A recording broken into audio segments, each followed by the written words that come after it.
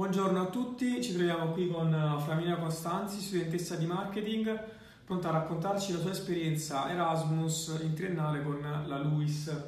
Ciao Flaminia, volevo chiederti anzitutto dove sei stata, in quale città? Allora, io sono stata a Nimega, in Olanda, è una cittadina vicino Amsterdam. Ok, cosa ti ha spinto a fare la domanda Erasmus? Allora, io ho mm, studiato scienze politiche in triennale e soprattutto in quel settore, come però in realtà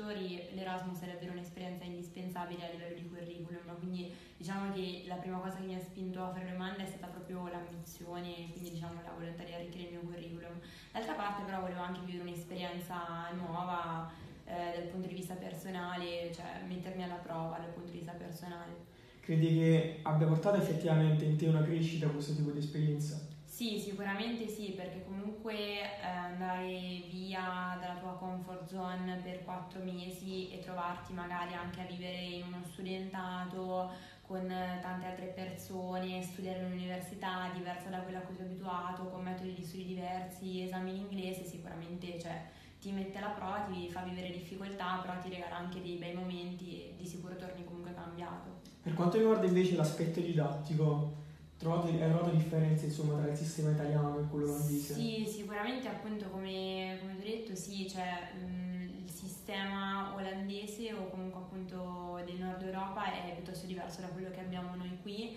è molto incentrato, diciamo, perlomeno io comunque ho studiato lì scienze politiche, cioè ho fatto il terzo anno della triennale scienze politiche e noi alla triennale scienze politiche eravamo abituati più che altro ad uno studio fatto di libri piuttosto mnemonico, mentre invece lì è molto più pratico, sei molto più incoraggiato a fare presentazioni magari di fronte agli altri, non esistono libri ma è tutto digitale, cioè vengono forniti dei materiali direttamente dal professore, quindi sicuramente questo. E poi anche comunque l'offerta formativa, magari sono previsti anche dei gruppi, dei focus group in cui si può dibattere con gli altri studenti in presenza del professore ed è incoraggiato molto il dialogo e gli interventi, molto più che qui diciamo.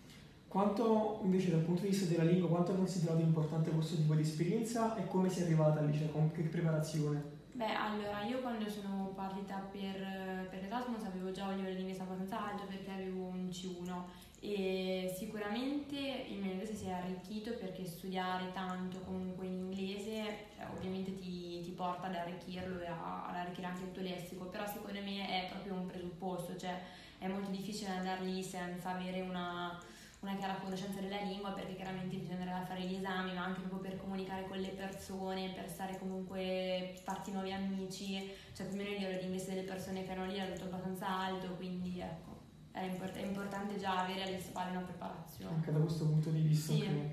E consiglieresti quindi questo tipo di esperienza in particolare a qualcuno nello specifico oppure insomma può risultare utile a tutti? Ma secondo me può risultare utile a tutti, nel senso che appunto cioè, sempre questo doppio lato, dal punto di vista formativo, cioè dal punto di vista del curriculum, è un'esperienza che tutte le aziende richiedono, cioè anche adesso che io sono in magistrale, sto studiando in un campo diverso da quello del marketing, mi è capitato magari di fare dei colloqui e tutti appunto ti dicono ah, hai fatto l'Erasmus, bene, è un'esperienza importante, un'esperienza internazionale ti serve, quindi questo per questo lo consiglio a tutti. D'altra parte, soprattutto per chi magari non ha mai fatto un'esperienza fuori, lontano da casa, per chi magari non è nemmeno fuori sede, quindi per tutti i ragazzi che qua alla Luis magari sono di Roma, cioè uscire un po' da, dal tuo ambiente protetto secondo me è proprio importante per la tua crescita e perché un domani comunque ci dovremo confrontare con tante difficoltà e quindi cioè, è importante farlo fin dall'università, cioè spostarsi e quant'altro. Ho capito. E invece per quanto riguarda la città dove sei stata, cosa ne pensi? Ti è piaciuta?